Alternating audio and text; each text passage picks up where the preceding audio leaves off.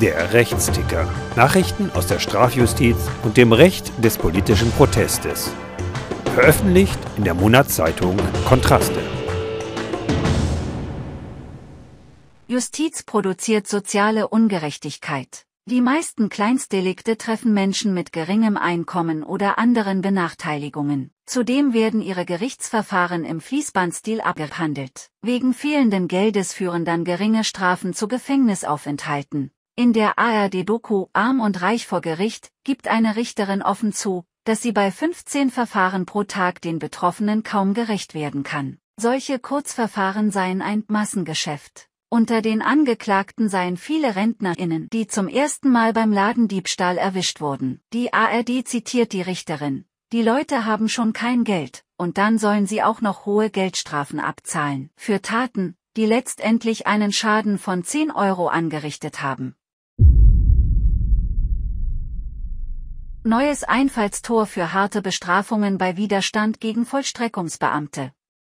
Seilwachen heißen die Personen, die bei Kletteraktionen darauf aufpassen, dass Unbefugte und vor allem Nichtkundige die Kletternden sowie indirekt Betroffene nicht durch unsachgemäßes Eingreifen in Gefahr bringen. Sie erklären Außenstehenden, was gerade passiert.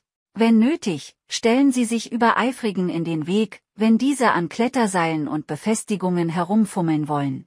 Bislang wurden solche Personen nicht dafür bestraft. In Gießen ist das jetzt geschehen, und zwar gleich zu sechs Monaten auf Bewährung.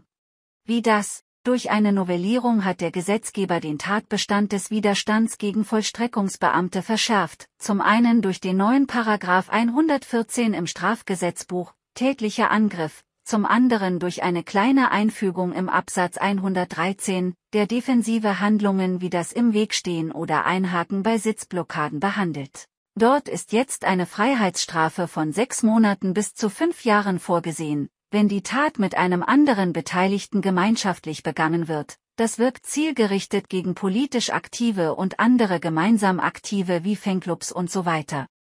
Der Staat hat sich ein hohes Einschüchterungspotenzial verschafft selbst bei Handlungen, die keine Gefahr heraufbeschwören. Menschen sollen sich unterwürfig verhalten, sonst mindestens sechs Monate.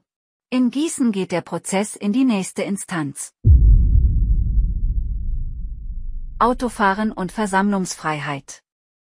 Bei Rademos, Abseil- und Anklebeaktionen auf großen Straßen kommt es regelmäßig zu juristischen Auseinandersetzungen über die Frage, welchen Stellenwert das Autofahren hat. Gibt es ein Recht darauf, alle Verkehrsflächen immer und überall nutzen zu können? Viele Gerichtsbeschlüsse enthalten diese Einschätzung. Sie führen die im Straßenverkehrsgesetz STVG, auf dem die Straßenverkehrsordnung STVO beruht, vorhandene Zielvorgabe Sicherheit und Leichtigkeit des Verkehrs nur zugunsten von Pkw und Lkw an, als gäbe es Fuß, Fahrrad und ÖPNV nicht, deren Sicherheit und Leichtigkeit ja gerade von Pkw und Lkw gefährdet wird. Zudem wird eine allgemeine Handlungsfreiheit nach Artikel 2 Grundgesetz auf Autos angewendet, die überall fahren dürfen. FußgängerInnen und RadlerInnen müssten dann ja auch überall fahren dürfen, dürfen sie aber nicht. Woher holen die Gerichte diese Auffassung? Ein Gesetz, in dem solches steht, findet sich nicht.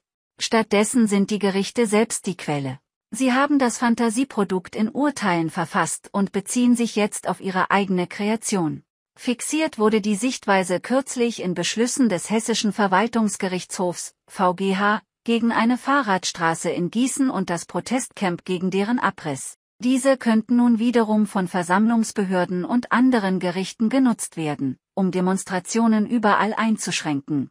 Dann bekäme die Geschichte des Versammlungsrechts ein neues Kapitel.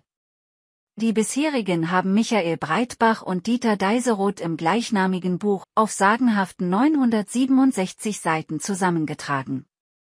Die Geschichtsschreibung beginnt vor 1848, nimmt das Jahr dann als ersten Schwerpunkt und zeigt weiter für Kaiserreich, die DDR und die BRD Debatten, Entwicklungen und Praxis des Versammlungsrechts auf, welches vor allem als aktueller Trend vom Streben nach Sicherheit und Gefahrenabwehr immer wieder bedroht ist.